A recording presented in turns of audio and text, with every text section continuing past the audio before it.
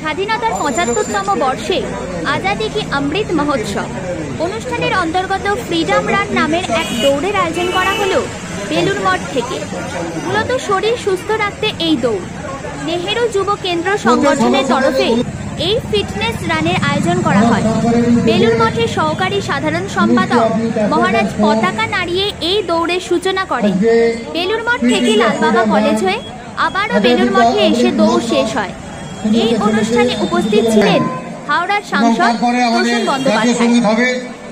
জাতীয় সঙ্গীতের পরে আমাদের যারা অতিথি থাকবেন তাদের ভাষণ হবে।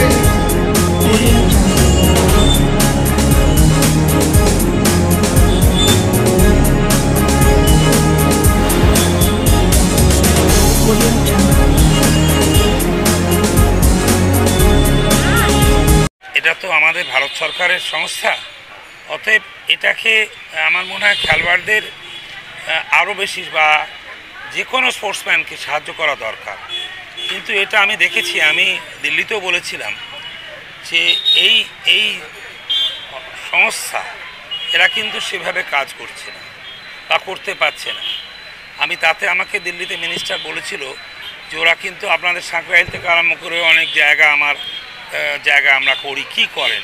তাতে খুব একটা পরিপুষ্ট করতে পারি এবং এই প্রথম আমাকে ন বছরে ডাকা হলো প্রথমবার, কেন সাংসদ সবসময় নিয়ম হচ্ছে, এই সংস্থার সবসময় ওপরে কিন্তু যেখানে যে সাংসদ, সে কিন্তু চেয়ারম্যান অতএব আমার মনে হয় এই আজকে যেভাবে বাচ্চাদের উৎসাহ দেওয়া হচ্ছে, ভালো লাগছে। কিন্তু এটা আজকে বলে না, এটা পরম্পরা থাকা উচিত।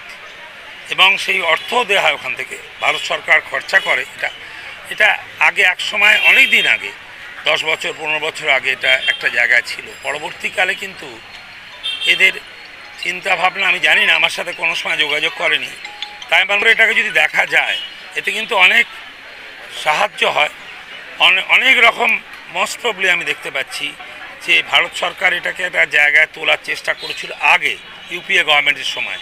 পরবর্তীকালে আমি এই গভর্নমেন্টের সময় আমি দেখিনি যে এটাকে খুব উত্তভাবে এই জন্য বলেছিলাম, বাংলায় কটা আছে বলুন? তারা উত্তর দিতে পারেনি আমাকে। আমি জিজ্ঞাসা করেছিলাম বাংলায় নেহেরু স্পোর্টসের ব্যাপার যেটা করে ওরা কটা আছে? ওর তো কোথায় আছে, ওরা বলতে পারেনি কিন্তু। এই জন্য আমার মনে হয়, আমি এই জন্যই এসেছি দেখতে আরও কেন, এগুলো তো দিল্লি আমাকে কথা বলতে দেবে, আমাকে বল, চড়তে দেবে। এদের কাছে কি হচ্ছে, না হচ্ছে, এদের সাথে, এদেরও উচিত ছিল।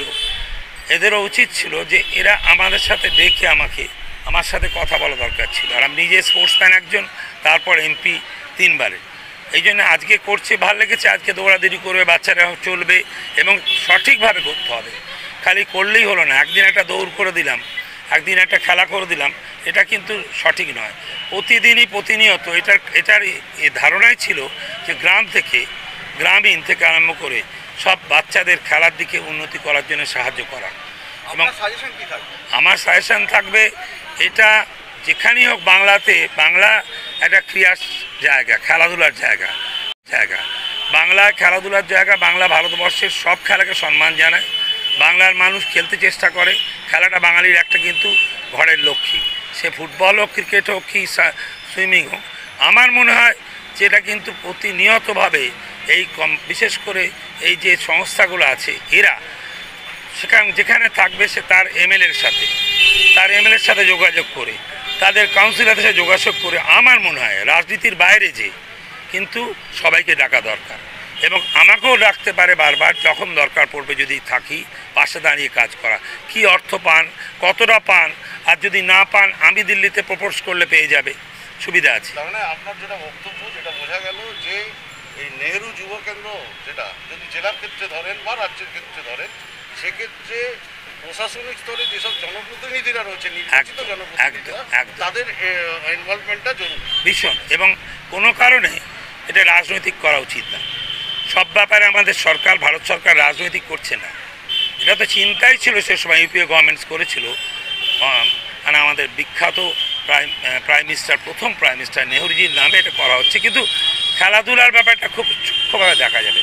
আমি জানি না আমার এমএলএরা কতটা জানে। আমি তো নিজেই জানি না এমপি হয়ে ন বছর আছি আমি।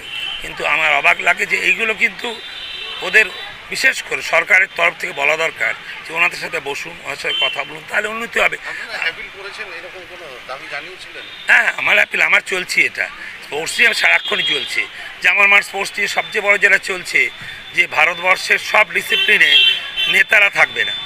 ভারতবর্ষের ফুটবল ক্রিকেট হকি সব নেতারা বসে যাচ্ছেন। সে আমি হই অন্য হোক। উপরন্ত প্রসূন ম্যাজিকও ডাকতে পারবে না। এটা যদি হয়, তাহলে খেলাধুলার উন্নতি হবে।